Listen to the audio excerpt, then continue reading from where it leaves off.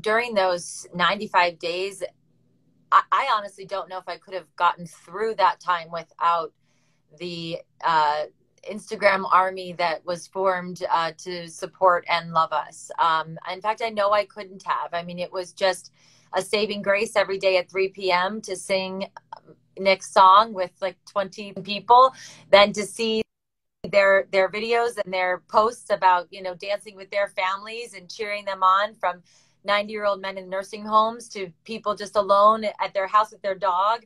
Um, it was it was beautiful and wonderful and so much advice and medical assistance and help. It was incredible. Um, but yes diving into this book you know there's so much in this book that i didn't share that i couldn't share at the time that i didn't want to share at the time that was things that i wanted to keep private to um, you know for myself private for nick.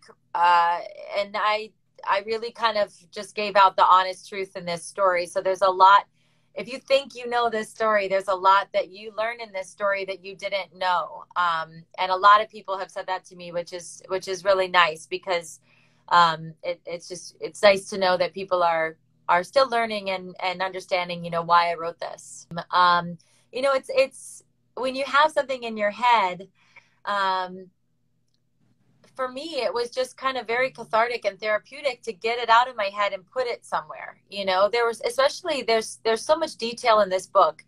When you go through something like this this traumatizing you know there's dates and and days and times and oh no i was eating scrambled eggs I remember because, you know, I Elvis flipped the, the pan over. You know what I mean? Like you just remember these crazy details and especially the medical things and the machines and the medicines and the doctors and um, I just didn't I didn't want that to go forgotten. I knew that there would come a day where Elvis would want to know this full story and I wanted I really wanted to put it down so that I had it, so that I didn't forget things. Um, but the process of writing was very, very hard. There were a lot of days I was writing and I couldn't even see the screen because I was crying so hard while typing. Um, or I would go to bed in tears thinking, how did this happen? It just doesn't even seem real.